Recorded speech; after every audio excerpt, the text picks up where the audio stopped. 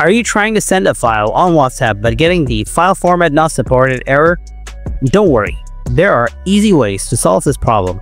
In this video, I'll guide you through a few quick fixes to help you send your files successfully.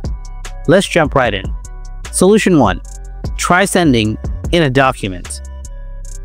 Open WhatsApp, select the person you want to send to, tap on the attachment icon, select Documents, choose the file and send it. Convert the file and select the correct format. Open Play Store, type CapCut, install it. If it is an image, select Photos Editor at the top left corner. Select the photos, tap Export.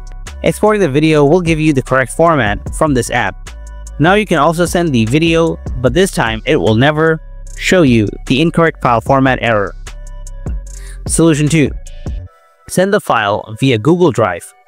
If the file is not supported, another option is to send the file via Google Drive. Open the file to Google Drive. Once uploaded, get the shareable link. Make sure to make the file accessible to the recipient.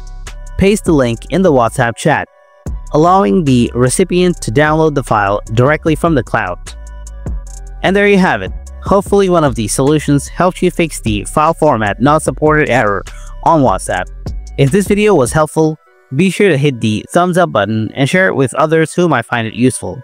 Don't forget to subscribe for more quick tech tips and solutions, and thanks for watching and I'll see you in the next video.